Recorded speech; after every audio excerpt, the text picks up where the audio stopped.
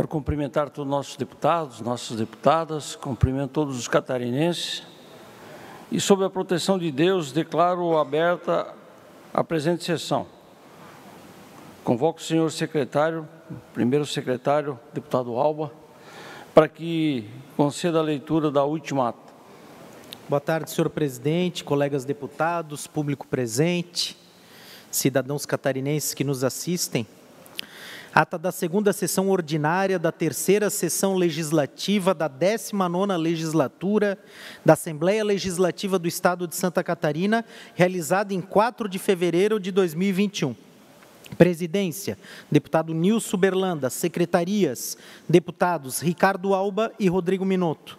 Às 9 horas do dia 4 do mês de fevereiro do ano de 2021, nesta cidade de Florianópolis, capital do estado de Santa Catarina, reuniu-se a Assembleia Legislativa em sessão ordinária. Havendo quórum regimental, o senhor presidente declarou abertos os trabalhos e convidou o senhor deputado Ricardo Alba primeiro secretário, para proceder à leitura das atas das sessões anteriores que, em consonância com o parágrafo 1 do artigo 106 do Regimento Interno, o senhor presidente deu-as por aprovadas. Expediente. O senhor presidente solicitou que se procedesse à distribuição breves comunicações. Fizeram uso da palavra os senhores deputados Neudi Sareta, Sargento Lima, Felipe Estevão e Márcios Machado grande expediente. Neste horário destinado aos partidos políticos, fizeram uso da palavra os senhores deputados Kennedy Nunes, bloco PSD e PSC, Bruno Souza, bloco MDB e Novo, Maurício Skudlark, bloco PSL e PL, e Dr. Vicente Caro Preso, bloco PDT, PSDB e Republicanos. Ordem do dia.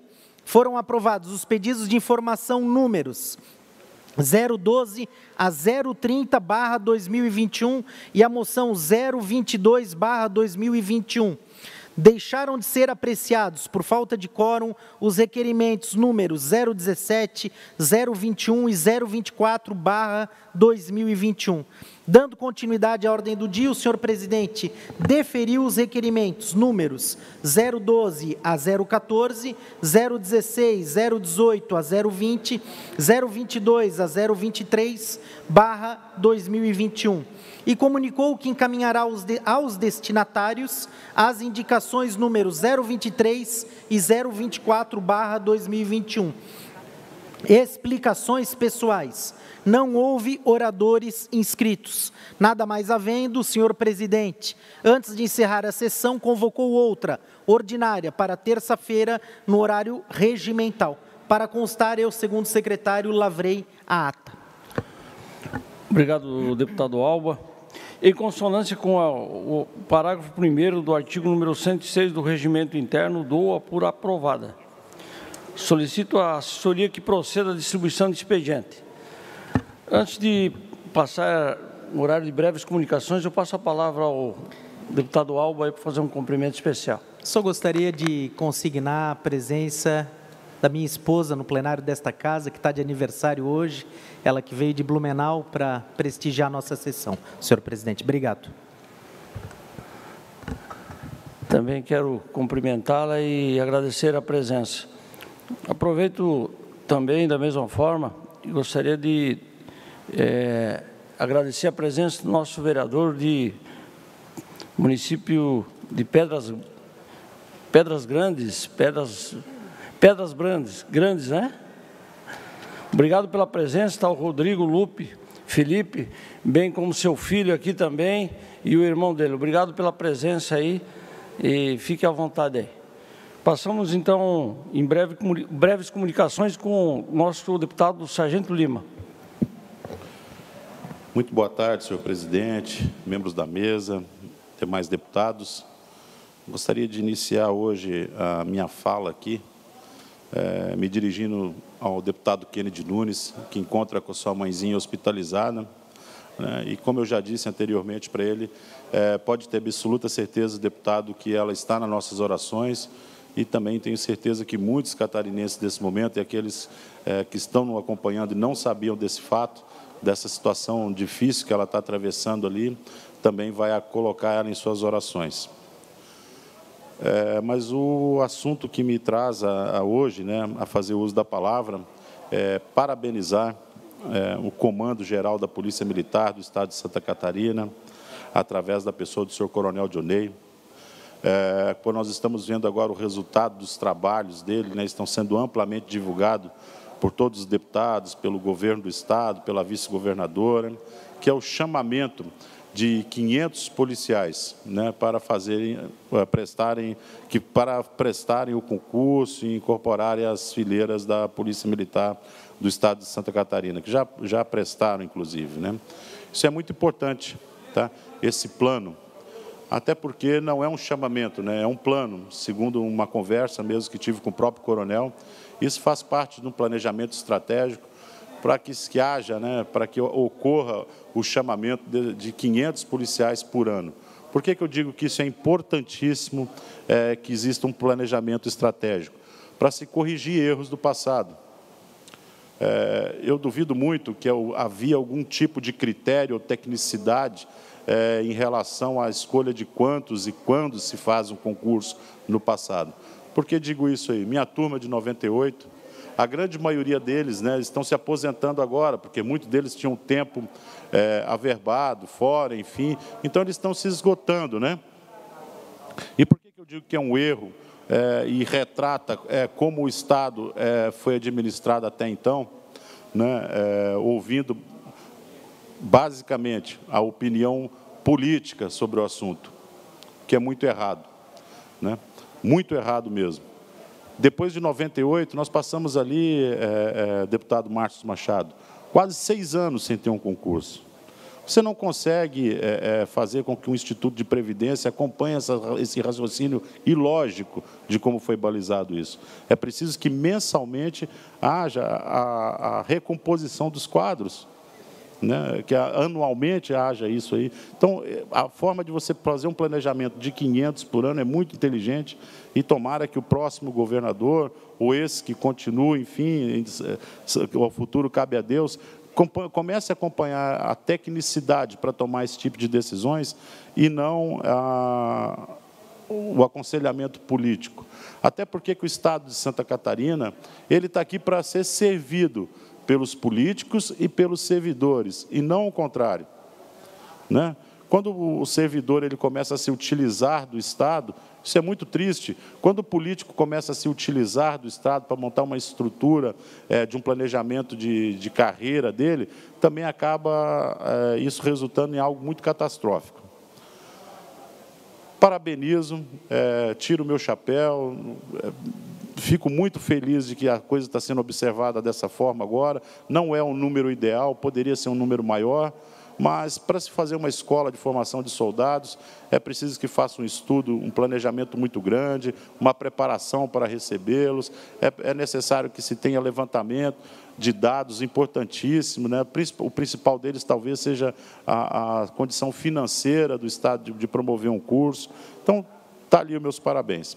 Mas da parte que me cabe, né, além de, de, de, entre outras atribuições de um deputado, é a fiscalização do Poder Executivo. Estamos aqui para isso e não podemos nos esquecer disso. Por que estou abordando esse tema de fiscalizar o que faz o Executivo?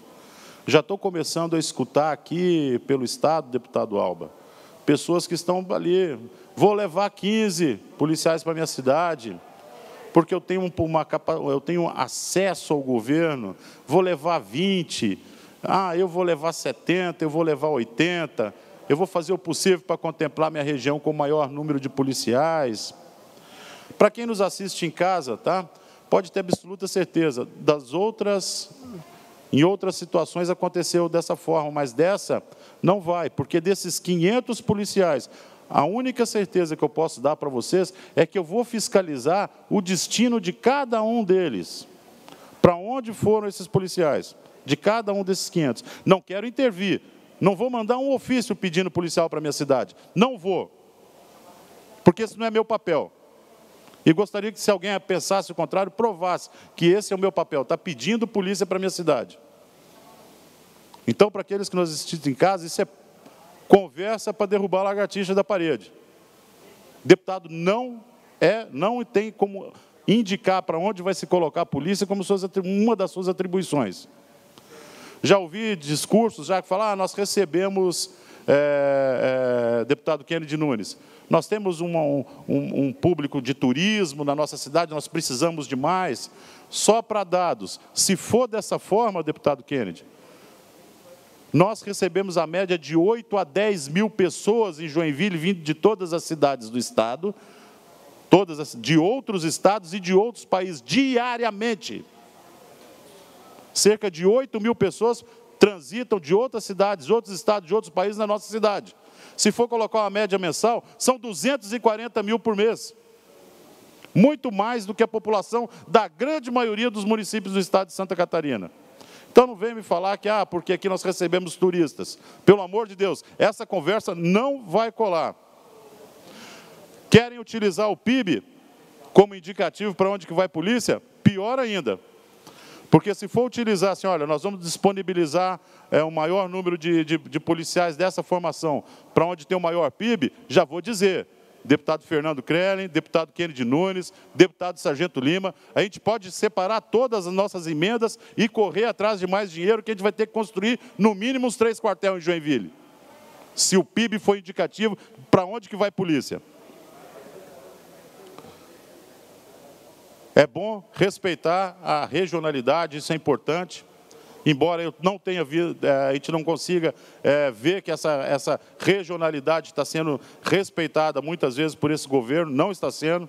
Usei como exemplo ontem, nosso presidente Jair Messias Bolsonaro já teve Santa Catarina seis vezes, porque reconhece o valor do estado de Santa Catarina entre os outros estados da nação.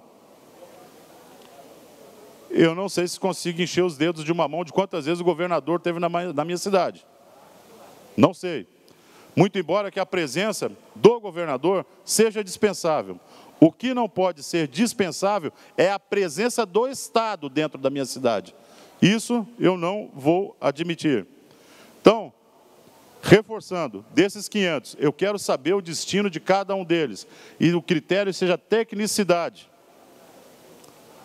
Consulte-se o BI. Existe um programa de consulta da Polícia Militar para saber do número de ocorrências onde foram atendidas. E lá sim vai se dizer para onde que tem que ter esses polícias. Não vai ser aqui dentro. Não vai ser. O próprio IPREV nosso também tem que dizer, olha, onde que está aposentando, onde que mora o aposentado. Vamos manter o discurso de campanha, tecnicidade na escolha, não só de para onde vai os policiais, podemos usar de exemplo também na escolha dos seus secretários, respeite as regiões, respeite a região norte do Estado. Já disse uma vez aqui na tribuna e fui, inclusive, processado por isso. Qual que é o interesse do Estado de Santa Catarina em cima de Joinville, que é a carteira. Agora digo mais, Joinville é muito bom, muito bom para ir buscar votinho em Joinville. Para ir lá roubar 500 votinhos, 100 votinhos, 200 votinhos, isso é muito bom. Então, é muito bom que se respeite a minha região e se respeite a minha cidade. Desses 500, vou fiscalizar para onde cada um desses policiais vai. E mais no ano que vem, 2022, com certeza ainda estaria aqui, se for da vontade de Deus. Dali para frente, não sei. Né? É, o que, que a gente vai fazer da vida da gente mais dois anos. Se vier duas safras de 500, mil policiais. Eu vou ver para onde foi e por que, que foi para lá e quais foram os critérios adotados para enviar esses policiais para essas devidas regiões. É isso, presidente, muito obrigado. Ok, dando continuidade, é, deputado Ivan Nats, grande líder do PL, por 10 minutos, Ivan. Não está? Não está online? Pela sequência, deputado Kennedy, colega da mesa, é, por 10 minutos, Sua Excelência.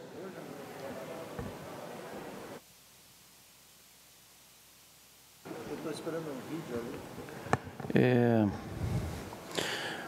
Deputado Márcio Machado, por gentileza, por 10 minutos. Boa tarde a todos. Cumprimento o nosso presidente em exercício, o deputado Mal. É, Mal. Tô, já tô. Cumprimento o nosso presidente em exercício, deputado Nilson Berlanda, mesa diretora, nobre deputado aqui se faz presente no plenário, deputado Sargento Lima, aos servidores, quem nos assiste nos canais respectivos Hoje, senhor presidente, o que eu venho aqui no parlatório para defender é a derrubada de um veto enfadonho de um projeto de lei de minha autoria e do deputado Sargento Lima. Um projeto de grande magnitude para o estado de Santa Catarina, no que tange aos consumidores que pagam uma tarifa de esgoto que onera o pagador de impostos em 100% do que eles consomem de água. Então, quando nós tivemos as discussões aqui na Assembleia, conversando com a presidente da Casan, ela me disse o seguinte: que para tratar um copo de esgoto é mais caro que tratar um copo de água. Só que a água nós tiramos da natureza e o esgoto sim precisa do tratamento. Só o que eu não consigo entender, deputado Sargento Lima, é que nos municípios onde essa prestação de serviço foi municipalizada, como Lages, é 80%. São Ludigero, Orleães é 60% e tem lucro. E só que quando nós vamos discutir com a Casan, ela joga esta desculpa que é mais caro tratar o esgoto do que a água. Só que a água, eu quero aqui frisar e ressaltar que ela vem do meio ambiente, vem de graça da natureza. E nós, buscando informações, buscando mais é, conteúdo para que a gente pudesse debater, nós encontramos na ABNT, que é a Associação Brasileira de Normas Técnicas, um estudo que diz o seguinte: o que eu consumo de água, 80% retorna em, em, em forma de esgoto. Então, a Casan, em todos os municípios administrados por ela, a tarifa do esgoto é 100%. 100%, rompendo assim o Código de Defesa do Consumidor. Porque lá no código é o seguinte: eu só posso pagar o que eu gastar. Por isso tem os medidores. Só que em relação ao esgoto, não. Ela está como lastro relacionado ao que eu consumo de água. Quando Concórdia foi discutir, não teve discussão, não teve acordo. Os vereadores de Lauro Miller entraram em contato comigo e disseram: o que, que eu posso fazer? Nos ajudem a derrubar o veto o veto que o governador fez de um projeto que fixa em até 70% a tarifa do esgoto do que o consumo de água. Deputado, Lá em Criciúma, deputado, a mesma coisa. O prefeito também Marcos, não conseguiu é, trabalhar nesse sentido para que pudesse reduzir a tarifa do esgoto. Otacílio Costa, deputado Alba, em duas semanas nós colhemos 5 mil assinaturas. Em duas semanas, o povo levava a lista de assinatura para sua empresa, para o seu comércio, colhiam na, nas praças públicas, que eu fiquei abismado, porque as pessoas não aguentam, já estão pagando muito. A mesma coisa lá em São Joaquim, vão começar a cobrar agora, Urubici também, só que Joinville, Joinville que é uma cidade com potencial gigantesco, o povo está num descontentamento que ecoou nesta casa ecoou nesse parlamento, só que infelizmente o governador do estado virou as costas. Virou as costas para o povo, virou as costas para o pagador de impostos. Que a Casan, já lhe passa a palavra, deputado Alba, a Casan em 2018 teve um lucro maior de 105 milhões de reais. Em 2019, o lucro foi de 119 milhões de reais. Empresa pública não é para ter lucro para acionista. Empresa pública, a função dela é universalizar o acesso à água potável e universalizar o tratamento de esgoto. Só que existe um outro querer, um outro entendimento. O que me passaram que a presidente da Casan recebe 46 mil de salário, os diretores 23 mil de salário, mas quando nós vamos discutir, pelo menos que respeite o Código de Defesa do Consumidor, que a Associação Brasileira de Normas Técnicas diz o seguinte: tudo que você consome de água, 80% volta na forma de esgoto. Por isso eu peço, eu clamo para que os deputados, deputado Kennedy Nunes, é, possamos derrubar esse veto. Esse veto não é justo. Esse veto não faz eco no que as pessoas estão sentindo no bolso no bolso. Se eu consumo 50 reais de água, eu vou pagar mais 50 de esgoto, mas o código me garante que eu não devo fazer isso. Por isso, concomitantemente, eu vou fazer agora uma ação popular e os deputados que queiram participar junto conosco, nós vamos assinar uma ação popular e vamos ingressar na justiça. Deputado Alba, com a palavra. Parabéns, deputado Márcios. Conte comigo na derrubada desse veto. Esse tema é de suma importância para o estado de Santa Catarina e não só em relação à Casan, mas é um tema municipalista também porque a Casan não fornece água e não trata o esgoto de toda Santa Catarina. Eu vou dar um exemplo para Vossa Excelência. Eu sou de Blumenau. Lá em Blumenau, o cidadão blumenauense paga 120% de esgoto do que paga na água. Se gastou 100 reais por mês de água, ele paga mais 120 reais de esgoto.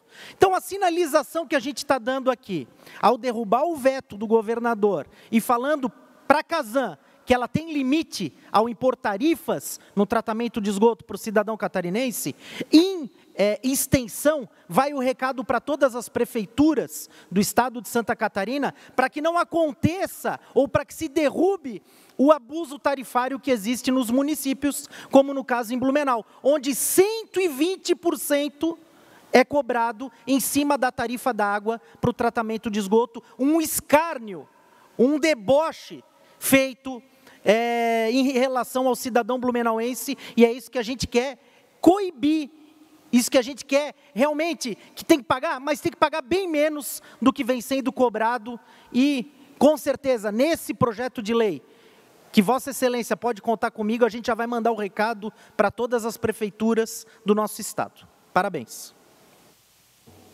Obrigado, deputado Alba. Muito obrigado com grande sapiência e conhecimento. Parabéns pelo seu pronunciamento. Passo a palavra também ao meu coautor desse projeto, deputado Sargento Lima. Deputado Márcio, fico feliz dessa, é, é, por ser coautor desse projeto. É, acompanhei várias audiências públicas na minha cidade em relação a esse tema. Deputado Alba, nosso ex-prefeito de Joinville também veio com essa maravilhosa ideia da cobrança de 120% é, é, por cento em cima já da tarifa. É, por isso que é esse né, não, não é mais, né, justamente por essas e outras atitudes. É, a própria ABNT, né, como bem frisou o deputado Márcio Machado, é, nos, nos passa o indicativo de que somente 80% retorna à natureza, e se mesmo que se fosse esses 80%, deveria ser comprovado pela empresa prestadora de serviço de que esses 80% ainda retornam da forma, na mesma qualidade de água que foi captada da natureza, o que também não acontece. Esse é o problema. Quer ficar rico? Tem outras possibilidades aí, tem você abrir uma empresa, gerar diversos empregos, vai para iniciativa privada, mas não com prestando serviço aí é, de, é, públicos, né? Vai jogar na Mega Sena, vai traficar droga, depois a polícia te mata, enfim, vai fazer qualquer coisa. Menos está fazendo caixa aí para financiar possíveis, né? Candidaturas lá adiante, enfim, participar efetivamente do processo político é, é, conforme frisei na minha fala passada, dessa forma também. Não vai, não vai ser utilizado para enriquecimento ilícito, como está sendo utilizado. Se tem cidade que paga 60% e consegue pagar suas contas e lucrar, como é que uma outra cidade vai cobrar 120%? E nas audiências públicas, nenhuma vez a diretoria da, da empresa que presta serviço na nossa cidade apresentou um número que fosse razoavelmente é, é, inteligente para você conseguir explicar isso para alguém. Nenhuma das vezes. Não conseguia falar devido ao número de vaia que recebia. Como se estivesse falando com algum idiota ali na frente. Ali. A sociedade, a sociedade ela, ela se mobilizou, foi às reuniões. Conte comigo, conte com a minha assinatura mais uma vez. Tá? E sou teu parceiro nessa e tenho certeza. E muitas outras atividades nós vamos fazer em conjunto aqui na casa, deputado Márcio Machado. Muito obrigado aos deputados é importante de fato. A Aresc, que deveria nos proteger, deputado Nilson Berlanda, presidente em exercício, infelizmente não faz o seu papel. Infelizmente não cumpre com a lei que deveria proteger o consumidor. E agora nós temos que passar por esse desconforto de o governador vetar um projeto importante e agora buscar é, esse entendimento com a casa para que a gente possa derrubar o veto. Muito obrigado. Dando continuidade, o nosso deputado doutor Vicente Carro Preso, por 10 minutos.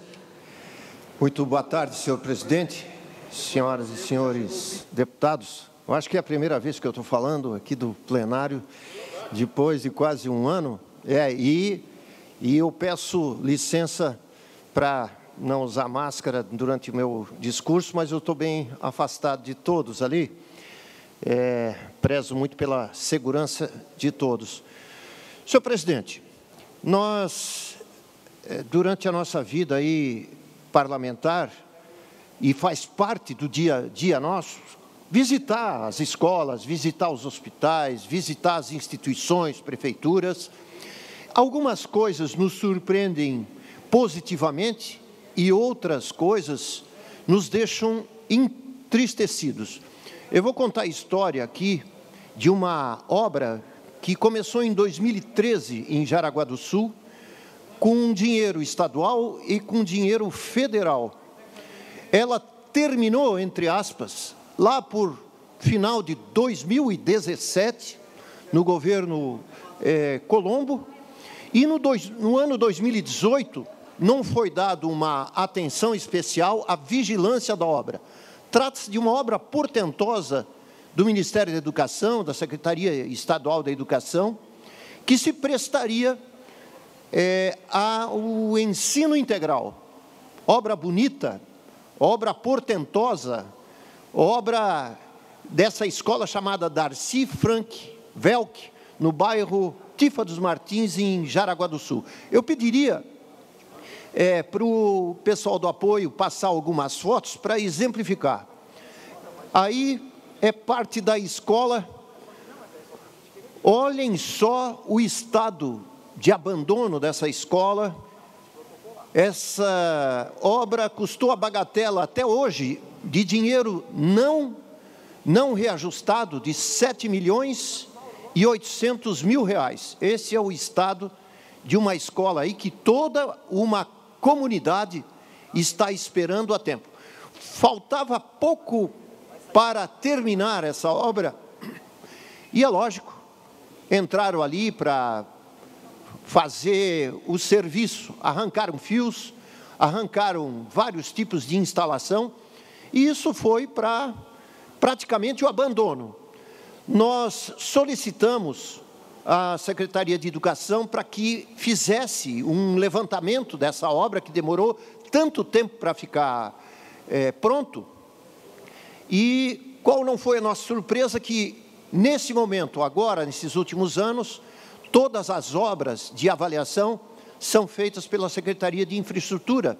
Então, está tendo um relacionamento entre a Secretaria de Educação, que vê os seus próprios, e a Secretaria de Infraestrutura, que vê aquilo que tem que ser feito. Então, foi feita uma licitação no ano passado, depois de muito trabalho, e ninguém apareceu, ou seja, deu deserta, deputado Kennedy. Deserta. Ninguém apareceu por causa de um item que não era compatível para ser colocado naquela, naquele item de licitação. Portanto, essa escola está à espera de uma nova licitação. E fomos atrás, e aqui parabenizamos o Fernando Alfren, que é o gerente regional de educação, e eu sei que está sendo feito todo um trabalho para isso terminar. Mas, sinceramente, a população não merece isso. O dinheiro público não merece isso, porque serão mais, no mínimo, 1 milhão e 100 mil reais para terminar essa obra, que já custou 7 milhões e 600 mil reais. Essa não é uma obra isolada. As pessoas que moram e que trafegam pela BR-280, pelo trecho estadualizado lá em Guaramirim, sabem do que eu estou falando. O SEDUP, que era antes em Guaramirim o centro de convenções da cidade, foi escolhido para fazer uma escola de ensino profissionalizante. O senhor está sentado, senhor presidente. Berlanda, dez anos depois, em novembro do ano passado, foi reinaugurado, também com essa história: depredação, abandono, mato, enfim. Então, esse não é o padrão de Santa Catarina. Né? Nós precisamos ter mais agilidade nos processos de licitação e no processo administrativo em si, porque não é admissível que uma obra tão importante, de ensino profissionalizante, de ensino é, de nível integral, que é o que a gente mais defenda, defende, fique nesse estado lamentável que a gente colocou. Né? Eu, eu não sou de fazer críticas, e aqui eu não sei nem pessoalizar a crítica, para quem que eu vou criticar, mas alguma coisa está errado, senhor presidente. Alguma coisa não foi bem, alguma coisa atrapalhou, saiu enviesado, né? e realmente Jaraguá do Sul, a região nossa, não merece isso. Por isso, eu peço encarecidamente a todos é, da Secretaria de Infraestrutura, que eu sei que estão trabalhando, a engenheira Andréia, lá de Joinville, o próprio Fernando Alfren, para que redobrem as suas energias, para que essa obra venha a estar à disposição da comunidade né, e, res, e, e faça aquilo que Santa Catarina sempre fez, com uma educação de qualidade, inclusive com as instalações. Falando em instalações, isso, essa dificuldade de processo licitatório, é, está afetando mais algumas escolas da região. Escola Teresa Ramos de Corupá, né, com um sério problema de infraestrutura, algumas escolas que têm é, problemas no, no, telhado dos seus, do, dos seus ginásios cobertos, enfim, da escola mesmo em si, nós estamos vendo realmente que há necessidade de aumentar essa velocidade de resolutividade. Se o governador e eu peço para que ele veja, a vice-governadora, o secretário agora empossado da Educação, eh, o Fernando Vampiro, nosso colega que recém assumiu, o secretário Vieira, né, Coronel Vieira da Infraestrutura, quando ele vê isso, quando todos virem isso, eles saberão daquilo que eu estou falando e do peso social e impacto negativo que traz para todos nós. Era isso aí. Obrigado.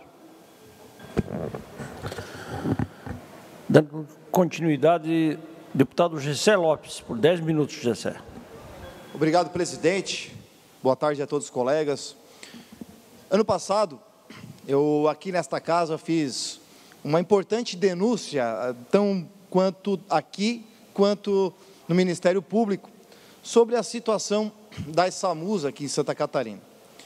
É, hoje ela é administrada por uma empresa terceirizada, uma empresa privada, e ela, ela tem diversos problemas em seu passado. E eu alertei isso aqui no plenário. Primeira coisa é que o currículo desta empresa, ela tinha é, como currículo apenas a administração de quatro ambulâncias é, no estado do Paraná.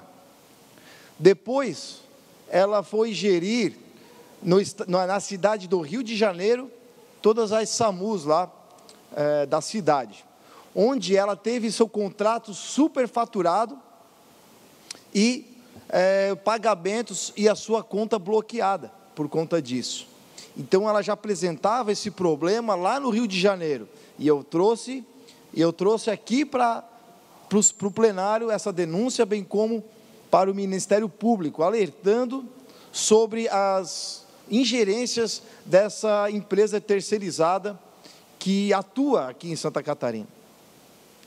E depois disso, a própria justiça declarou que a empresa era incapaz de fazer gestão da SAMUS, ela tinha incapacidade técnica. A própria justiça no Rio de Janeiro decretou que essa empresa não tinha condições de gerir as SAMUs lá na, no, na cidade do Rio de Janeiro.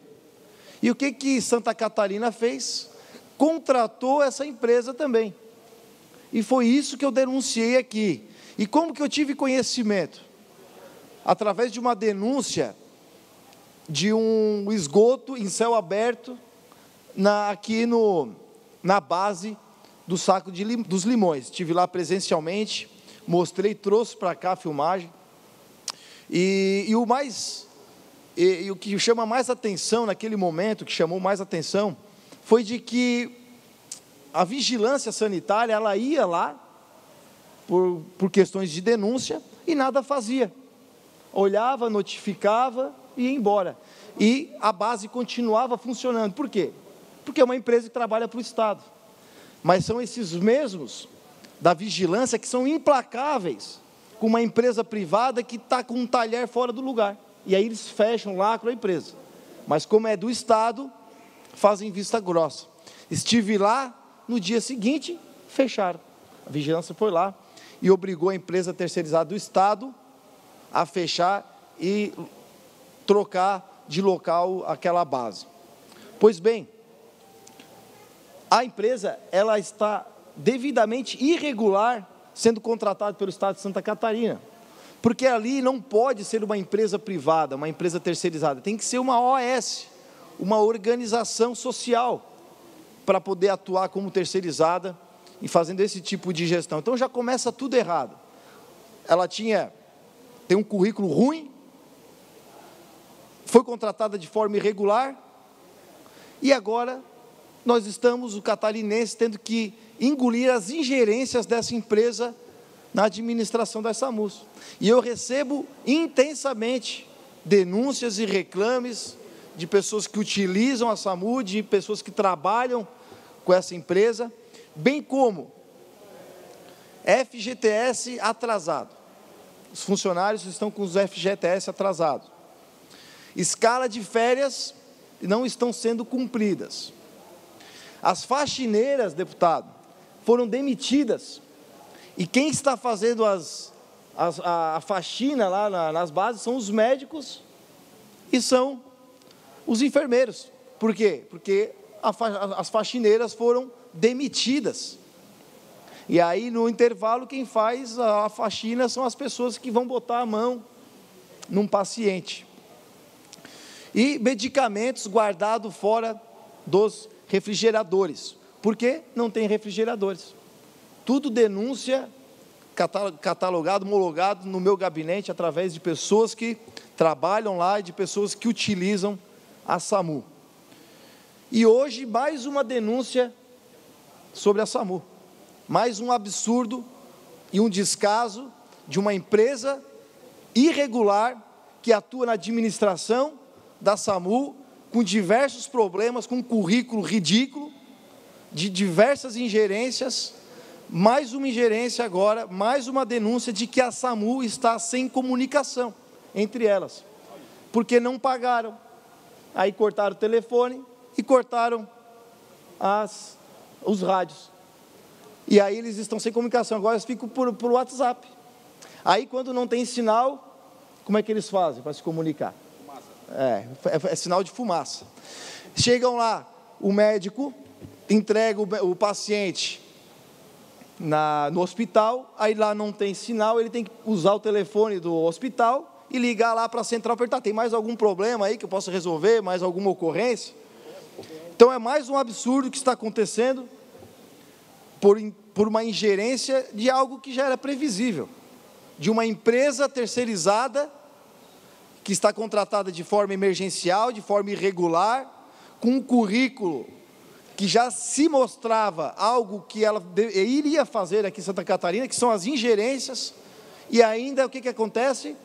O Estado de Santa Catarina, o governo de Santa, Santa Catarina, insiste em renovar o contrato com essa empresa. Eu quero saber quem que está se beneficiando e qual o problema de contratar uma empresa melhor que essa, de forma emergencial.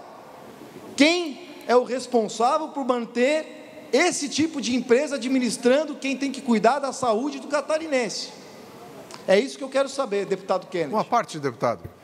Eu queria pedir, o que a Vossa Excelência traz aqui é um assunto extremamente importante que eu hoje acabei de protocolar, um pedido para a Comissão de Saúde fazer aqui numa reunião da Comissão de Saúde, uma reunião com os responsáveis da saúde e da OZZ, que é essa empresa para que nós possamos fazer um tira-teima. Por quê? A OZZ diz para os funcionários que está com, com FGTS atrasado, que Vossa Excelência falou, que o Estado não pagou. O Estado diz que pagou tudo para a OZZ. Então vamos fazer uma cariação aqui, e eu protocolei hoje e peço para os membros da comissão de saúde verificar exatamente isso. Quem é que está mentindo? Se é o secretário André Mota, que diz que pagou tudo para a OZZ, ou se é a OZZ que está mentindo para os funcionários. Então, muito boa essa sua colocação e vamos esperar para que a Comissão de Saúde possa fazer essa cariação para termos isso tirado a limpo. Obrigado. Muito bom, deputado. Mas sabe quem é que está pagando? É o catarinense. É o povo que está pagando com a ingerência e com a irresponsabilidade do Estado e da OZZ, que tem um currículo ridículo, que com certeza ia acarretar em todos esses problemas que o catarinense, que paga os impostos, está sofrendo. Obrigado, presidente. Opa, uma palavra, deputado Sargento Lima. Essa relação aí entre aquilo que é público essas empresas prestadoras de serviço, via de regra, não terminam bem nunca. A gente consegue ver isso aí, né? Mas esses dias eu estava pensando qual será o, o próximo jingle 2022, né? Eu ia sugerir a música do Roger lá, né? Do, do Traje Rigor, o Inútil, né, cara? é complicado mesmo. Eu gosto de rock, né, cara? Rock bom dos anos 80. Esses dias eu estava em casa pensando assim, só pode ser essa aí a música mesmo. Né? A gente faz tudo, mas não consegue nada, né, cara? Nada, nada. A gente arrecada pra caramba, é uma coisa de louco isso aí. Parabéns, deputado Jessé, traz esse assunto, é importantíssimo. Agora, uma, uma pergunta que ficou quando ele falou que ia lá, manuseava, fazia faxina e tal, e depois ia manusear ali o paciente. Ele, ele, máscara eles estavam usando. A máscara é o mais importante, né? Fechou, então, era só para matar pode, a A máscara não pode faltar. Tá, ok.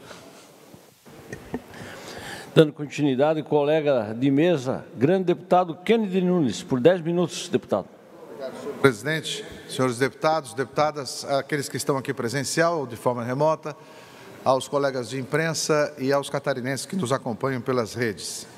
Hoje eu venho falar de um assunto que mexe com todos nós catarinenses, mas principalmente com o colega deputado Sargento Lima, que é a segurança pública. É, no período de recesso parlamentar, aqui esse deputado protocolou ao Ministério Público, ao Governo do Estado, ao Tribunal de Contas, uma série de denúncias relacionadas às questões administrativas, principalmente de concursos públicos feitos pelo comando da Polícia Militar uma série de irregularidades, que resultou numa ameaça que eu tive que fazer o registro de boletim de ocorrência do irmão do comandante-geral, que em uma mensagem que estavam comentando sobre as denúncias que eu fiz, presidente, o irmão do comandante-geral, que é um comandante de reserva lá do Rio do Sul, junto com um outro PM de, da reserva, disse que eu receberia nos próximos dias uns presentinhos. E quem sabe como é a linguagem dentro da caserna, presentinho é a armadilha que resulta em tiro. E isso me fez registrar um boletim de ocorrência e reforçou a denúncia que eu fiz das irregularidades cometidas pela Polícia Militar, pelo comando da Polícia Militar. São irregularidades que agora o Ministério Público, o Tribunal de Contas, a Justiça Militar estão analisando e eu acompanhando para e passo para ver porque ninguém vai colocar em gaveta as denúncias que nós colocamos lá, porque todas estão balizadas naquilo que a lei diz. E eu não entendo qual é a parceria, deputado Sargento Lima, que o governador tem com esse comando atual, que é um dos piores comandos de toda a história da Polícia Militar de Santa Catarina. E não dá para entender o porquê que o governador faz tanta questão de deixar no comando gente que cometeu crime eleitoral e que tem dois pesos e duas medidas, deputado Gessé. O comandante da Polícia Militar gravou no salão nobre do comando da Polícia Militar, com equipamento da Polícia Militar, com pessoal da Polícia Militar, em hora de trabalho, um depoimento como comandante da Polícia Militar para pedir votos para o irmão dele, que era candidato a prefeito em Rio do Sul. O que, é isso? Crime eleitoral, improbidade administrativa, e não sou eu que estou dizendo, é a lei que diz. E ainda mais, este comandante assinou um documento proibindo qualquer tipo de citação ou depoimento ou de amostras da Polícia Militar em programas eleitorais. Ele assina um documento proibindo, mas ele pode. Ele pode porque ele é o comandante geral. Mas aí o capelão da Polícia Militar, um capitão, faz da sua fala uma menção a um candidato que se elegeu aqui em Florianópolis, diácono. Diácono não sei o que, mas é um diácono. E este capitão, capelão da Polícia Militar, responde um processo por crime eleitoral assinado pelo comandante que cometeu o mesmo crime. Mas daí o dele foi na sala do comando geral, com os quadros atrás aparecendo de forma defocada, pegaram aquela lente bonita que deixa em primeiro plano o comandante, gravado com equipamento e quem estava gravando era policial. Fizeram uma imagem de drone do batalhão com o drone da Polícia Militar. Quem era o operador do drone? Polícia Militar. Quer dizer então, comandante Dionei, que quando eu faço essas denúncias, o senhor responde aqui para o governador, sabe o que o senhor respondeu de todas as denúncias? Que o deputado Kennedy Nunes está me perseguindo. Vai te catar, rapaz. Eu vou perseguir tu. Quer dizer que eu fiscalizar é te perseguir? Quer dizer que eu cumprindo o meu papel constitucional de mostrar as irregularidades, o joguinho do comando com a associação é, é, para fazer concurso público, para vocês faturarem os cursos que vendem, para pagarem os oficiais para fazerem aula lá. Associação Barriga Verde Oficiais ganha todos os concursos, faz um dinheirão vendendo concurso, sendo que a Polícia Militar e o governo têm concursos feitos, gente que tirou nota boa e que poderia ser aproveitado, mas não, eles querem fazer um novo concurso, sabe por quê, deputado Gessé? Porque fatura, a Associação dos, do, dos Oficiais fatura, para trocar quadros, reformar a sede, e o praça, ó, para cima de mim não, ora eu te perseguindo, comandante-geral da Polícia Militar, Perseguindo porque eu estou denunciando aqui? Pois se para você é perseguição, aguente que vem mais. Vou dizer, a denúncia que chegou do seu crime eleitoral, comandante da Polícia Militar, foi de colegas três estrelas seu. Eu acho que é só uma minoria que lhe suporta ainda no comando porque todos não aguentam mais o seu comando. Todos. Os praças estão se matando. Os pelotões estão fechando por falta de oficiais. E o senhor, com sapatinho lustrado, fazendo crime eleitoral dentro do comando da Polícia Militar. E daí, governador Carlos Moisés? O que, que o senhor vai fazer? Vai manter ainda? Roda o vídeo.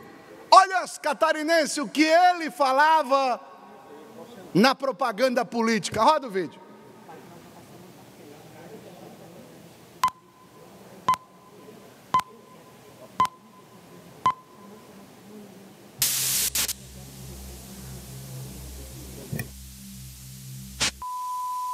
Conheça as propostas do comandante Moisés Governador para a área da segurança pública. Catarinense, A cada dia que passa, os índices de violência continuam crescendo de maneira absurda em nosso Estado. E nós não podemos permitir que o Estado continue nesse rumo. Precisamos valorizar os agentes da segurança pública, bem como recompor os seus efetivos, que dia e noite colocam suas vidas em risco para nos garantir uma sociedade tranquila. Nós vamos investir realmente em segurança pública, reforçando os efetivos. Nós não vamos trazer as pessoas cansadas de casa, nós vamos contratar novos policiais, novos bombeiros. Mas quando eu entrei na PM para fazer o curso de oficiais, a PM tinha 13, isso foi em 87, há mais de 30 anos, isso, é, a PM tinha 13 mil, cerca de 13 mil homens. Hoje a PM tem 10 mil homens, 10.400 homens. Nós podemos comparar então que naquela época tinha cerca de 4 milhões de habitantes, Santa Catarina hoje tem mais de 7 milhões. Essa proporção ela diminui é, na medida em que nós tínhamos cerca de um policial para cada 360 habitantes e hoje um policial para quase 700 habitantes. Eu acredito que o Estado pode e deve, tanto que o governo está anunciando aí, mais mil policiais. Né? É, eu acho que nunca se falou tanto em falta de efetivo nas polícias depois que começou o debate na TV. Porque eu, eu, comecei a levantar essa bandeira e os outros candidatos, por último, já estavam citando dados que eu citei, de 87 a 2018, é, que a PM tinha 13 mil homens e hoje tem 10 mil. Então, ah, nós vamos recompor os efetivos, sim. De que forma? Falta de recursos? Eu vejo que o Estado tem recursos. eu vejo que o Estado tem recurso. Vocês viram ali que uma hora ele diz assim: não vamos trazer o pessoal cansado, vamos ocupar novo. Atenção, Santa Catarina, o governador está querendo mandar para, uma, para um projeto de lei aqui para o tal do policial temporário. O policial temporário vai ganhar dois mil reais a mais do que o policial que está na rua, enfrentando o bandido. Para cá não, governador, não adianta mandar, nós não vamos deixar passar esse daqui, por quê? Porque isso é uma sacanagem. O Rio Grande do Sul, mais, mais dois minutos, senhor presidente. Mais dois minutos, deputado. O Rio Grande do Sul quis aprovar uma lei dessa, o Supremo Tribunal Federal disse que é inconstitucional. O quê? Trazer policial para ficar dentro do escritório no ar-condicionado, pagando mais do que quem está lá se arrebentando na rua, governador? Não tem vergonha, não, homem? Deputado Jessé. Eu, me chamou muita atenção quando ele fala que o Estado tem recurso, sim. E olha, o Estado tem que ter muito recurso para assumir 33 milhões de reais e não dar em nada. 33 milhões que eram para aquele momento a aquisição mais importante para o Estado, que eram os respiradores. E simplesmente ninguém fala mais nisso. Ninguém fala mais nisso. Então deve ter muito recurso para que 33 milhões sejam roubados e ninguém faça nada, ninguém seja culpado. Então deve ter muito recurso, sim. Recurso não falta. Ele diz ali mesmo. Só que quem é policial que está me assistindo agora sabe que o salário que estão recebendo está 47% defasado, porque sequer a correção inflacionária faz. Tem gente tendo que fazer bico e agora, quando acabou o bico, estão apavorados. Governador Carlos Moisés, cumpra o que o senhor falou, não engane mais, porque nós não esquecemos os 33 milhões. Obrigado, senhor presidente.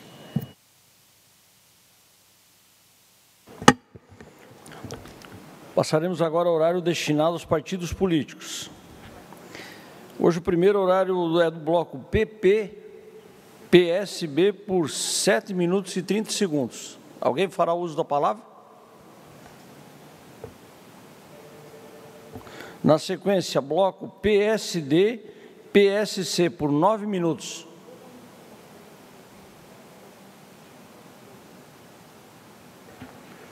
Ninguém a sequência é o Partido dos Trabalhadores, o nosso deputado Neudi Sareta. Por favor, deputado.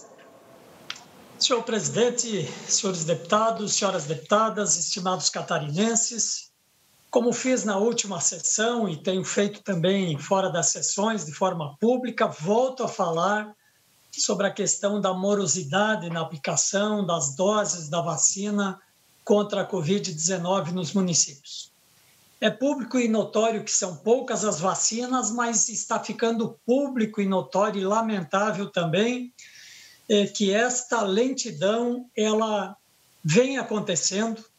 Ontem ainda, conforme contato da nossa assessoria com a Diretoria de Vigilância Epidemiológica, constatávamos que apenas 89 mil doses haviam sido aplicadas é, sendo que o que mais espanta é que Santa Catarina até agora recebeu 298.140 doses das vacinas, tanto da Coronavac quanto da Oxford, sendo que da Oxford e AstraZeneca foram 47.500 doses. Fazendo a conta com os imunizantes recebidos e distribuídos aos municípios, sem contar os 42.500 encaminhados ontem, são 200.700 doses de vacinas que já deveriam ter sido aplicadas.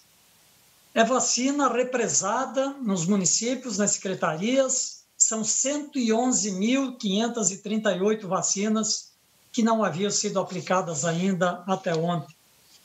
Eu, já, eu tenho dito que estas doses poderiam ser aplicadas rapidamente, quem sabe em dois ou três dias, tenho defendido também que se amplie esta base das prioridades. E cito como exemplo: agora liberou-se prioridade para vacinar quem tem mais de 90 anos. O município X tem 350 idosos com mais de 80 anos, de 90 anos, está recebendo 450 doses mais ou menos de vacina. Se deixar naquele ritmo que está vindo, vai 15 dias. Então já amplia, quem sabe, no segundo dia para quem tem 89 anos, depois para quem tem 88 anos. Não vai tirar a vez do outro. Quando ele chegar, ele vai vacinar. Mas vamos ampliar essas, essa base de aplicação. E não é possível, em plena pandemia, com o Brasil tendo mais de mil mortes por dia, os postos de saúde, para as salas de vacinas, funcionarem apenas de segunda a sexta-feira. É preciso que tenham plantões, sábados, domingo, que a gente possa aplicar imediatamente essas vacinas. Um município com 21 salas de vacina não pode ter apenas a unidade central vacinando, tem que botar essas vacinas nas salas de vacinas.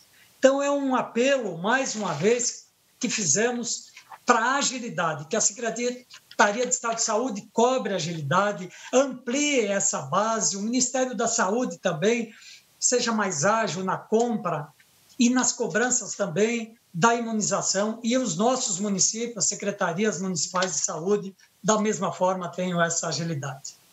Quero também abordar aqui, ainda relacionado à saúde, a questão da ocupação dos leitos eh, de UTI, até mesmo clínicos, é no, no, especialmente nesse momento no oeste de Santa Catarina, que vive um momento complicado. Seis das oito cidades do oeste e meio-oeste que possuem leitos de UTI tinham ontem 100% de ocupação. Chapecó estava, apenas Chapecó estava com 93,55% e Concórdia 93,75%, essas duas que não tinham lotação total, mas destas duas cidades, apenas uma vaga era destinada a pacientes adultos na cidade de Concórdia, as demais são leitos neonatal e pediátrico. O Hospital Regional Oeste de Chapecó informou que transferiu 13 pacientes entre os dias 4 e 7 de fevereiro para as cidades de Concórdia, Lages, Joaçaba, Videira, Itajaí e Caçador. O Hospital Regional de São Paulo de Xanxerê emitiu alerta de superlotação ainda na sexta-feira, orientando a população a procurar a rede de atenção básica no município e o centro de triagem do coronavírus. Isso porque a Covid-19 já estava, os leitos com 100% de ocupação, além de haver pacientes na emergência aguardando leitos de internação. O Estado, portanto, precisa reativar e abrir mais leitos para pacientes da Covid-19, contratar mais profissionais e essa vacinação precisa andar, precisa andar com mais rapidez. Não pode as vacinas ficar no posto de saúde 15, 20 dias para serem aplicadas um, essa pouca quantidade de doses que vieram. Portanto, é um momento de preocupação. Vivemos um momento realmente de apreensão. E também não poderia deixar de concluir esta fala sobre essa questão do SAMU, já desde o ano passado que nós vemos levantando isso, Inclusive, durante o recesso, fizemos documento também ao governo do Estado, à Secretaria de Estado de Saúde, esta questão da empresa terceirizada, da OZZ. O problema agora, a SAMU está sem internet, os funcionários sem direitos trabalhistas, como já foi levantado aqui por deputados que me antecederam. Então, são questões urgentes que é preciso que a Secretaria de Estado de, de Saúde nos dê uma resposta e faça uma ação emergencial para resolver isso de forma definitiva, essa questão da administração do SAMU, que tem causado tanto transtorno em Santa Catarina. Muito obrigado, senhor presidente. Passaria o horário agora do PP, PSB, por 7 minutos e 30 segundos. Deputado João Amin. A pedido, João. Obrigado, deputado Berlanda. Primeiro quero fazer um registro, estou muito feliz de poder voltar aqui na tribuna, Sopelso. Tirando a máscara antes que o Marcos Vieira me peça para tirar, porque ele sempre, quando o outro está falando, ele pede para tirar a máscara. E dizer que isso aqui representa o nosso trabalho. O trabalho do parlamento é parlar, é falar, e a tribuna é um local sagrado. Eu fiz essa solicitação ao presidente Mauro de Nadal e agradeço aqui em público por voltar isso, voltar esse momento de nós podermos falar. Cumprimentar todos os deputados, cumprimentar de maneira muito especial a vereadora de Cocal do Sul, que aqui se encontra na Assembleia Legislativa, Maria Luísa Darrout, não Derrout, como meu professor, e está aqui pleiteando as melhorias que Cocal precisa, eu tenho certeza que o seu trabalho na Câmara de Vereadores em Cocal vai ser muito importante. Eu faço aqui o uso da tribuna pela primeira vez em 2021, muito preocupado com essas notícias com relação à vacinação em Santa Catarina. Nós temos a imagem do Brasil, que se eu não me engano é a imagem 2, que a assessoria pode colocar para todos que nos ouvem poder ver, é o tom que Santa Catarina está em relação à vacinação.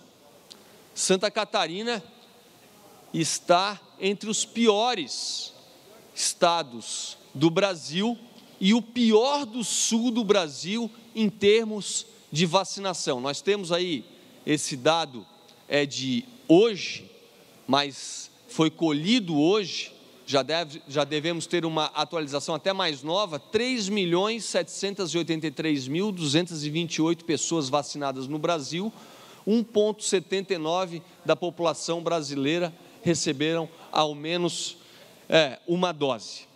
Santa Catarina está atrás do Rio Grande do Sul, está atrás do Paraná, se nós formos comparar em termos de população, ah, estamos atrás até de Goiás, que tem ah, um pouco menos de um milhão de habitantes com relação a Santa Catarina.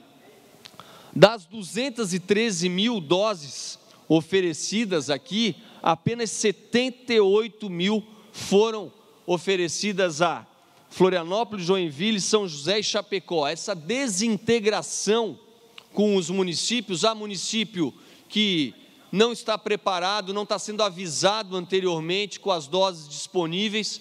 Eu tenho certeza que, independente de briga política, recurso e vacina não vão faltar. O que tem que ter é organização, sincronia né? Santa Catarina está 1,05 de pessoas vacinadas, o Rio Grande do Sul 1,65, Paraná 1,42. E por enquanto, o que me leva, daqui a pouco o deputado Laércio falando do plenário sem o microfone vai falar mais alto do que eu do microfone, né, Kennedy? É, é, o a parte vai estar disponível. É, tudo Todo esse exemplo a curto prazo que a gente tem em Santa Catarina é muito ruim. É só lembrar dos respiradores, onde os respiradores foram comprados, mas pagos, mas não chegaram. Tudo que me leva aqui hoje é interrogação, são questionamentos. não vim aqui ainda para fazer nenhuma afirmação, nenhuma acusação. Por isso que daqui a pouco o nosso requerimento de convocação do secretário de Estado da Saúde vai ser ah, discutido, vai ser votado.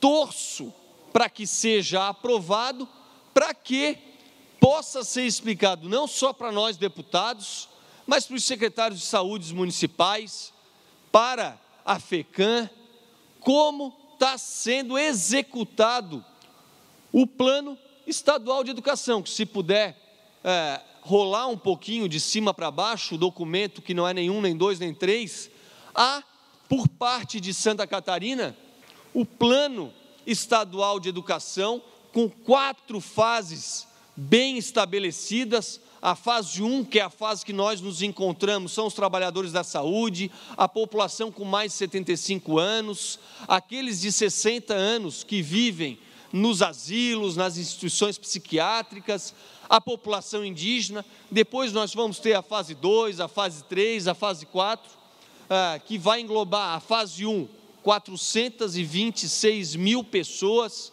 Então a gente espera acabar essa fase logo e que o plano possa se desenrolar o mais rápido possível.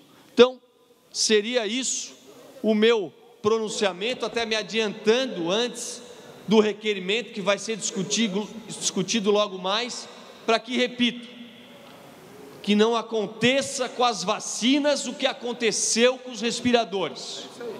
A minha torcida, a minha provocação, a minha força é que não ocorra da mesma maneira, o desastre dos respiradores não se repita na questão da, nova, na, da nossa vacinação. A população está muito ansiosa, vários alunos já estão podendo frequentar a aula de novo, graças a Deus. Nem no período de guerra as nossas crianças ficaram tanto tempo sem ir para a escola como ficaram no ano de 2020, para que a gente possa voltar ao normal o mais rápido possível que essa ansiedade que todos nós vivemos de conseguir a vacina, de ter a vacina para um familiar, para aquela pessoa que necessita, para que os nossos empregos sejam retomados, para que os negócios voltem a funcionar da melhor maneira, deputado Berlanda, para que a gente possa voltar ao normal o mais rápido possível. Que seja novo normal, mas que seja o normal, para que a economia gire e que a gente possa fazer com que Santa Catarina deslanche o mais rápido possível. A torcida pela vacinação é grande. Que não se repita o que aconteceu em hospital de campanha, em respirador e uh, o que aconteceu no ano passado. Muito obrigado.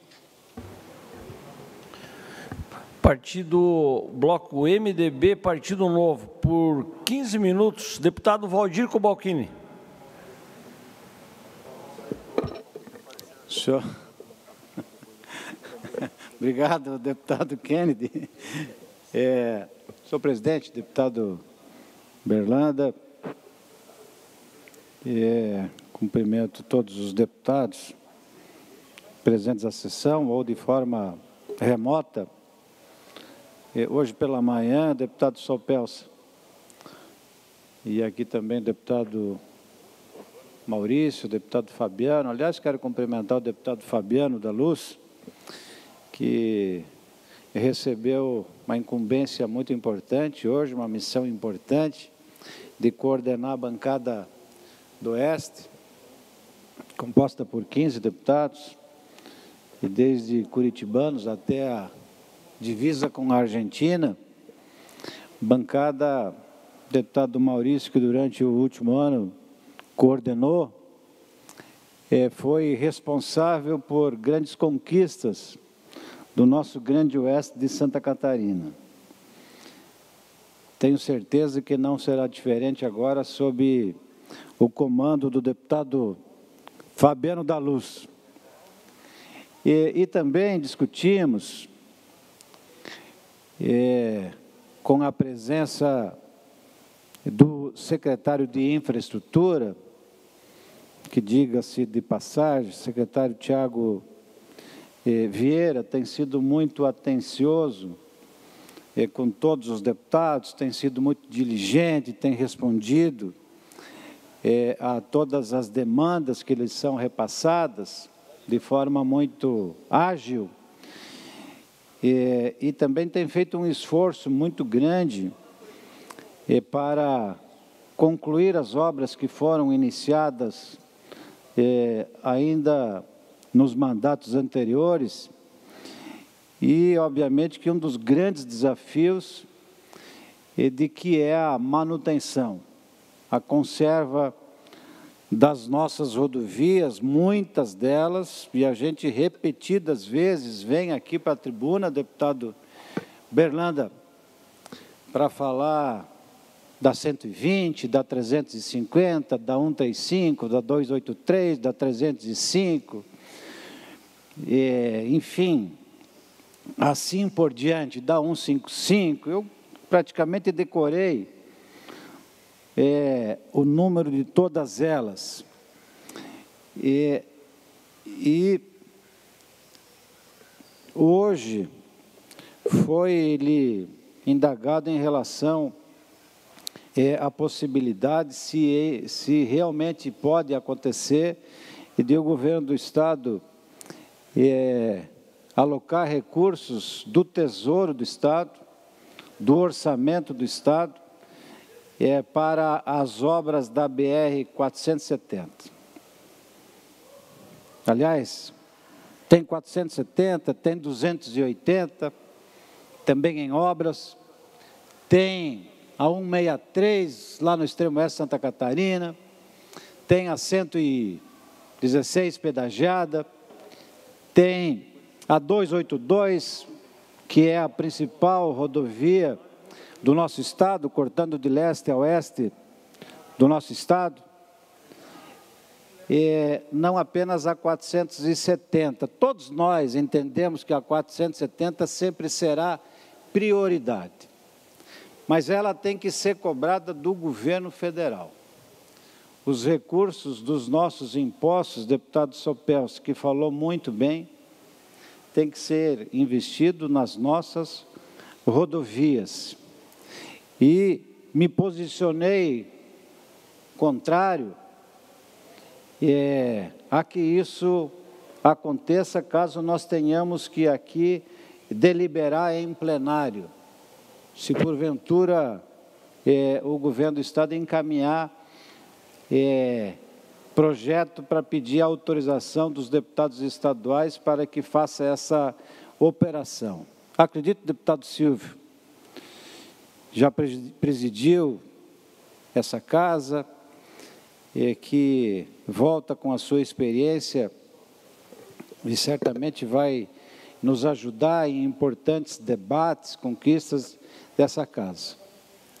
É, eu acredito de que é, o Estado deva, de forma emergencial, me lembro muito bem da rodovia dos móveis. É, assim como essa, hoje tem tantas rodovias em nosso estado aguardando por restauração, por tapa-buracos, buracos que são fechados é, depois de uma chuva e que duram até a próxima chuva. Então nós não podemos permitir que isso aconteça. E penso que a Assembleia deva se mobilizar é, para que o ministro, que tem sido, olha, eu quero dizer que eu admiro muito o ministro, o ministro Tarcísio, tem se destacado muito no governo federal.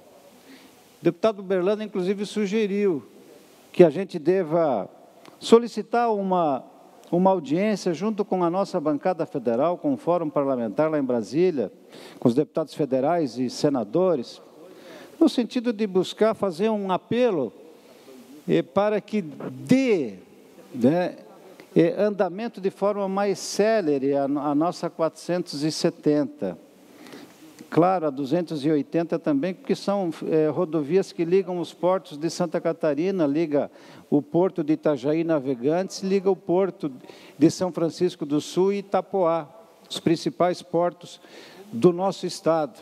E, claro, é, as regiões é, mais economicamente mais importantes e com densidade populacional maior, que é, que é o Vale do Itajaí, que é o norte de Santa Catarina. Então, deputado Sopelso... Só quero uma parte. Deputado. Com certeza, deputado Sopelso. Muito obrigado, deputado Cobalcini. Da mesma forma, eu quero aqui cumprimentar todos os senhores deputados, as senhoras deputadas, aqueles que estão aqui presentes, aquele que, aqueles que estão remotamente. Cumprimentar também, deputado, o trabalho do líder da bancada do Oeste, deputado Maurício, que entregou hoje de manhã a função para o deputado Fabiano. E desejar ao deputado Fabiano que tenha, que tenha sucesso e nós seremos parceiros nos pleitos. Também, deputado Berlanda, Vossa Excelência, que junto com o deputado Mauro, é, no dia 1 de fevereiro deste ano, assumiram a missão de conduzir essa casa, que vocês possam ter sucesso. Também agradecer a todos pela confiança né, que nós tivemos de fazer aqui esse encaminhamento, de nós podermos dividir os mandatos. É, eu, sinceramente, quero agradecer isso a todos. Mas o deputado Cobalcini levantava uma questão importante e eu, eu compreendo, deputado Silvio, Vossa Excelência, que presidiu esta casa, eu compreendo a, a angústia que deve ter o nosso governador. Todos nós temos essa angústia, deputado Cobalcini, da 470. Fazem, deputado Márcio, 15 anos que nós vemos falar na revitalização desta, desta estrada. E a coisa não acontece, não vai. Parece que tem uma bruxa inteirada nesse trecho. Né? É, agora o governador pela boa vontade, pretende colocar 200 milhões do governo do Estado para fazer essa obra.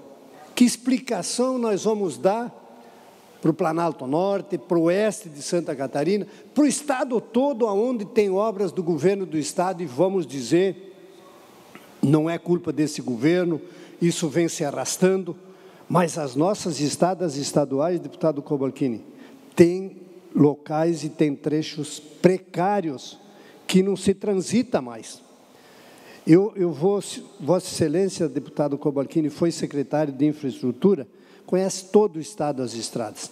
Mas, deputado Silvio, eu quero falar da 283, uma estrada que fazem 50 anos que foi feita, que começou, talvez tenha demorado 7, 8, 10, mas é mais de 40 anos que existe a 283 de Concórdia, Seara, Seara, Chapecó e depois até a divisa da Argentina nunca mais recebeu, deputado Maurício, uma revitalização. É a segunda rodovia aonde tem o maior conglomerado de indústrias do gênero alimentício, frigoríficos e indústrias de industrialização de leite. É, não é possível, eu não vou conseguir explicar. Então, nós temos que realmente cobrar do governo federal que os recursos que são arrecadados em Santa Catarina, pelo menos parte, volte para o nosso Estado. Eu não sei se foi o deputado Maurício que foi que falou, 5%, 8% daquilo que o deputado Marcos Vieira, se não me engano, daquilo que nós contribuímos com a União, volta de investimento para o Estado. Então, não, nós não podemos mais calar e consentir, consentir que essas coisas continue acontecendo e nós ouvindo lá todo dia. E o governador sendo criticado porque não conserta as estradas, porque faz o tapa-buraco, como disse o deputado Cobalcini, é feito antes da chuva, é tapado o buraco, depois da chuva volta o buraco de novo. É? Então, é, dá, tenho vontade de dar todo o apoio ao governo, de ajudar o governo é, Carlos Moisés, que as coisas possam acontecer essa casa tem contribuído em muitas ações, vamos continuar contribuindo, mas essa questão, tenho minhas dúvidas se esse projeto aqui na Assembleia vai ter encaminhamentos que possa ser aprovado. Era isso, deputado Cobalcini, muito obrigado. Deputado Cobalcini, se Vossa Excelência me concede um minuto só para claro, contribuir claro, com, com, com essa manifestação de Vossa Excelência e também com a participação do deputado Marcio Sopels, com quem quero me congratular e com todos os deputados dessa casa em revê-los participando de debates relevantes em prol dos catarinenses. Não diferente minha saudação também ao presidente Berlanda, neste momento presidindo esta sessão. Eu ontem tive a oportunidade de ir até o município de Araquari, deputado Sargento Lima, para acessar até que foi o retorno. Eh, eu não, não posso precisar, mas acredito que para fazer 10 quilômetros levamos mais de uma hora.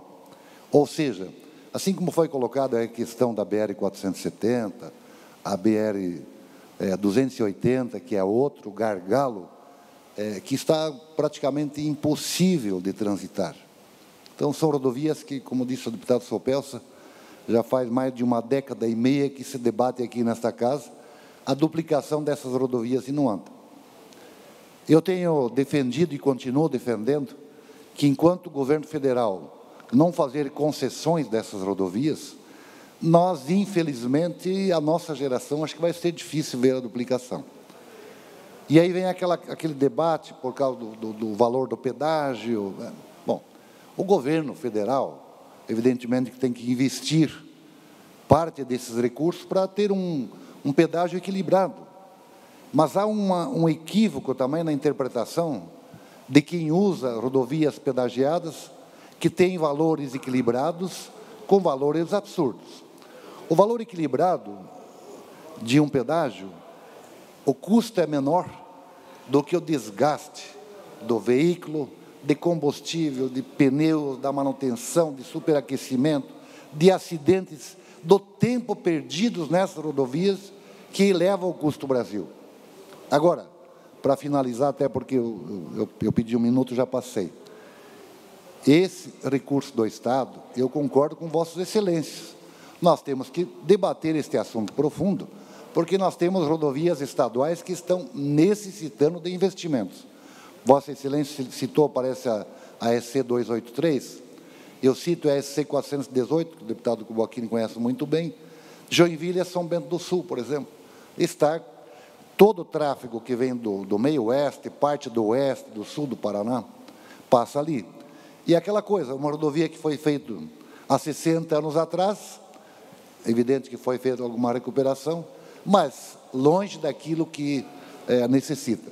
Então, é um debate profundo, espero que nós possamos é, aprofundar e fazê-lo melhor para os catarinenses. Obrigado, deputado Kubalkini, pela concessão do tempo. Obrigado, deputado Silvio Drevik. Eu concordo plenamente com Vossa Excelência, deputado Silvio, quando sugere é, que o governo federal faça a concessão das rodovias. Se não fosse isso, nós não teríamos ainda a 101 duplicada. Se não fôssemos isso, nós não teríamos a 116, que hoje em nada lembra aquela 116 antes de ser pedagiada. A 470, 280, a 282, enfim, todas elas deveriam ser concessionadas com. Para concluir, mais. Mais, mais um minuto, deputado. Obrigado, deputado Berlanda. É, com pedágios é, que sejam justos, com custos justos, e como é o da 116, como é a própria 101, nós seríamos um outro Estado. Imagina se nós tivéssemos essas nossas vias, inclusive rodovias estaduais, por que não? Que tabu é esse? Que o Estado não pode fazer concessão de rodovias estaduais. Acho que nós precisamos avançar nesse debate, temos uma boa vontade no sentido de ajudar nas pautas importantes do nosso Estado, e eu penso que essa seja uma das principais pasta, principais debates, principal área para o desenvolvimento do nosso Estado. Agradeço imensamente a atenção de todos. Pela ordem, senhor presidente. Deputado Gessé. Gé, eu queria fazer o registro, eu queria fazer o registro aqui nessa casa hoje, os meus vereadores lá da cidade, da cidade onde eu moro, da minha querida Ibirama, a nossa vereadora Andenice, o nosso vereador Valmo e o Fernando. Sejam sempre bem-vindos à Casa Legislativa, à Casa do Povo. Gé. Desculpa, deputado Gé, desculpa aí. O bloco PSL-PL, por uh, eh, 13 minutos, deputado Maurício, colega da bancada, grande deputado Maurício Kudilac. Obrigado, senhor presidente, deputado Nilson Berland. Agradecer ao deputado Sargento Lima, que é o, o horário é do bloco, e ele vai fazer o uso na sequência aí, mas eu não poderia deixar de fazer alguns registros importantes, e inclusive sobre esse tema que foi tratado das rodovias e do governo investir em rodovias federais. O deputado Sopelso falou muito bem, deputado Cobalcini, hoje o Silvio. É, se é para o Estado assumir, como é que nós vamos explicar assumir a 470 de navegantes, que é a ideia, até Gaspar, e não vai assumir então a 163 no oeste, que está um caos. O ministro da Infraestrutura veio a Jaguaruna, prometeu que em agosto iria iniciar, não iniciou, entrei em contato com o Ministério, disse que começaria, deputado Laércio em outubro, até hoje não começou, e o governo federal, o governo Bolsonaro, Sargento Lima, que eu apoio, que eu votei, tá? ele está inaugurando obras no Brasil inteiro, na área da infraestrutura. Todo dia uma obra que nos dá orgulho. Mas Santa Catarina, que deu a maior votação proporcional, que é o sexto em arrecadação, não pode ser o 25 a receber de retorno investimentos federais. Isso não é aceitável.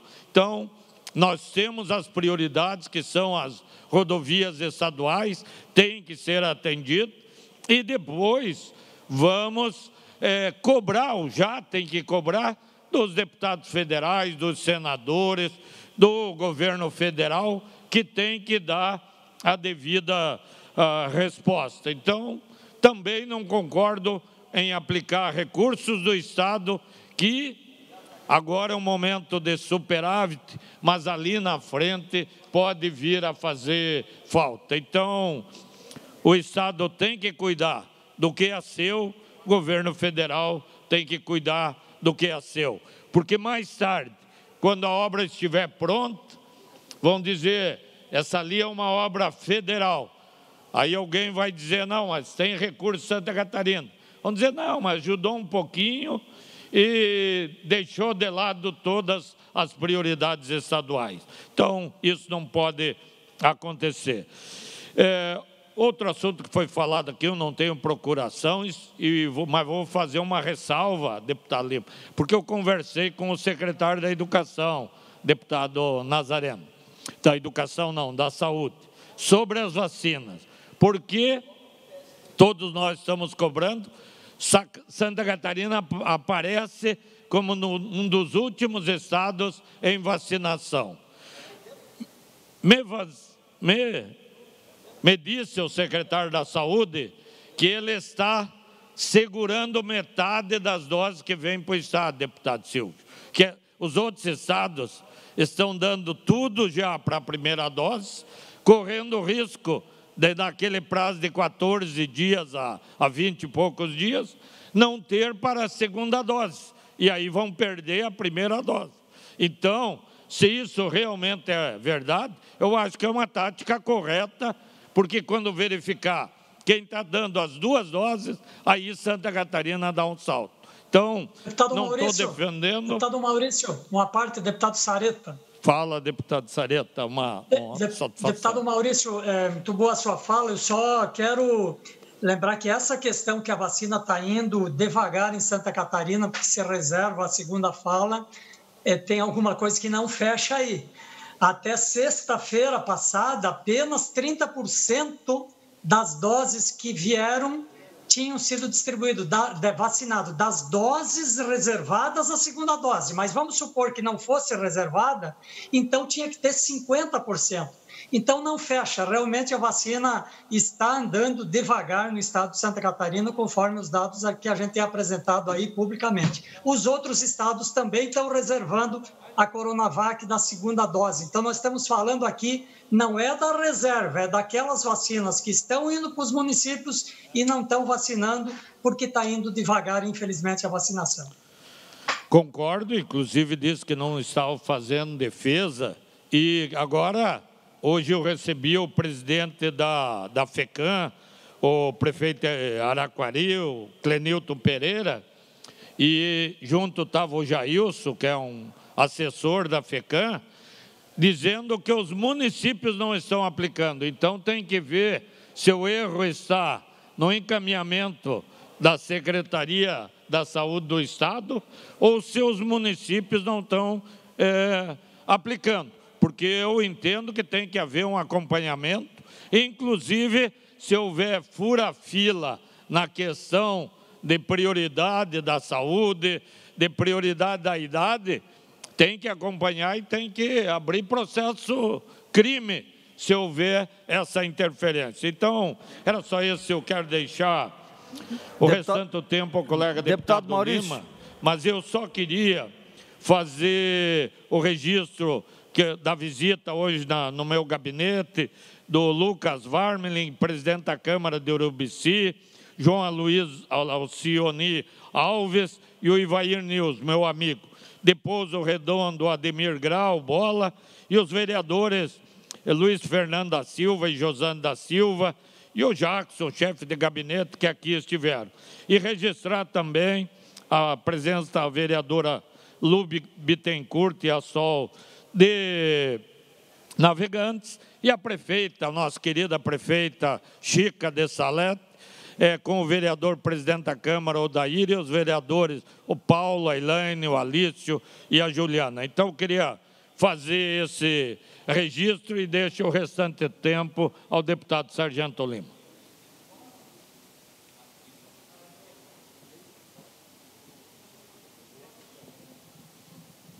Senhores deputados, que bom estar na tribuna novamente, falar em pé, né?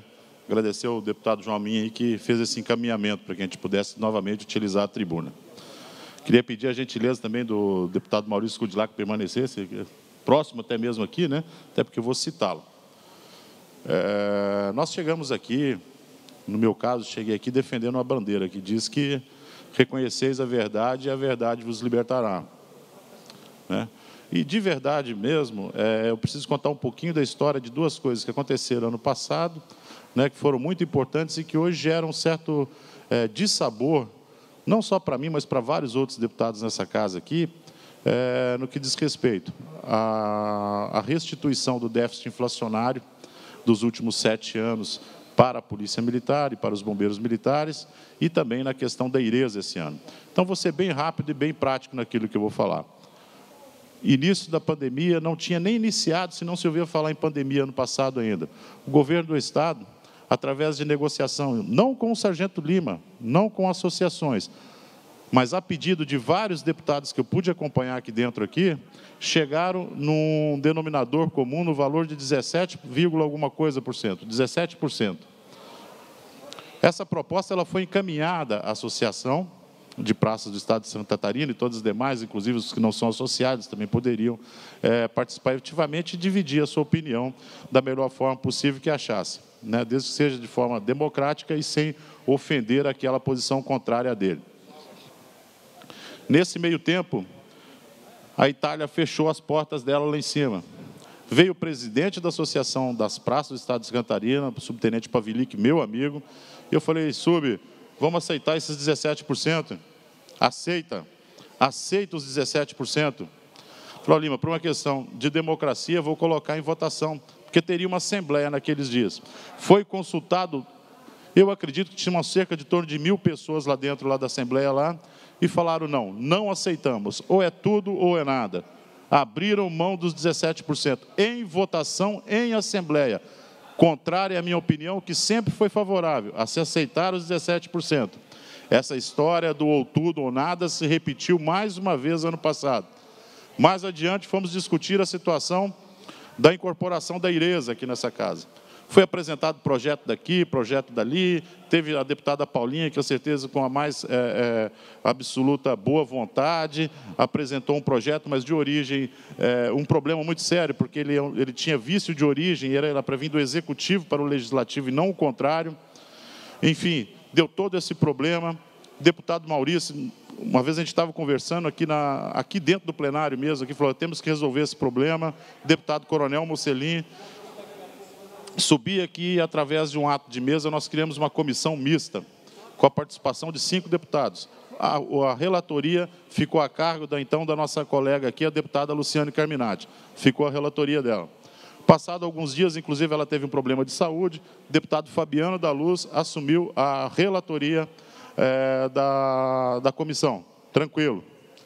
Nessa comissão, Aí sim, nós nos encontramos no tapete vermelho, o deputado Maurício, né, com aquele sotaqueão dele do Oeste, né, falou, ô Lima, graças a Deus, resolvemos o problema. E a gente saiu todo feliz ali dentro, ali, tranquilo, estava pacificada a incorporação. Abre mais um, um comentário que eu tenho que fazer. A incorporação desse subsídio, aliás, a incorporação da IRESA, não era de obrigação do Estado. A determinação seria que se cortasse que se extinguisse a IRESA. Ninguém falou em incorporação, era para ser extinguida e não incorporada. Era a contrapartida do grau acima, isso não decidido aqui em Santa Catarina, decidido lá em Brasília. Caso contrário, os militares estariam lá recebendo pelo INSS, atingindo o teto, como todos os outros servidores públicos. Ponto. Fomos fazer a nossa votação aqui dentro, aqui, pacificada a situação, de novo, eu e o deputado Maurício e o deputado é, Coronel Mocelin. Falou assim, pô, Lima, o teu, teu povo aí tá, tá, não, não quer a Ireza. Eu falei, mas como não quer? A gente está lutando por isso. É o soldado, é o cabo, é o terceiro sargento, o segundo sargento, o primeiro sargento, todos eles pedindo a Ireza. Não pode arrancar um dente, não pode casar, não pode fazer nada que se pegar uma licença não pode receber o benefício. Tranquilo. Aqui dentro, dentro do plenário, nós discutimos sobre isso. No dia seguinte, no dia da, da, da votação, todos, aí como teve o problema de saúde da deputada Luciano, o relator ficou o deputado Fabiano da Luz, a associação de subtenentes eram aqueles que entraram. Nenhum oficial entrou no meu gabinete, sendo contrário. Coronel Cel, representante da COS, entrou lá dentro e falou: Lima, meu Deus do céu, o que está acontecendo? Não vamos votar a Ireza? Fazer mais uma vez justiça. Deputado Maurício foi vice-presidente da, da, da, da, comissão. Primeiro ofício que ele me entregou, solicitando que fosse feito um encaminhamento conjunto da Polícia Civil. Em conjunto, chegou o secretário aqui, da, da, da... o secretário chegou aqui, não o secretário, o próprio o deputado Coronel Mocelinho, olha, tem a questão do IGP, lembrando bem, e coloca o Instituto Geral de Perícias junto. Quem foi de gabinete em gabinete dos membros ali dentro para que não fosse votada a Ireza foram os subtenentes. O porquê, o motivo, eles que justifiquem mais tarde. Tá? Como disse, não tenho medo de é, fazer política pensando em quantidade ou não de voto que vou receber. O político que se preocupa com voto é um canalha de quinta grandeza. O político que se preocupa com voto, ele tem que vir aqui fazer o trabalho dele, e o trabalho nosso nós fizemos.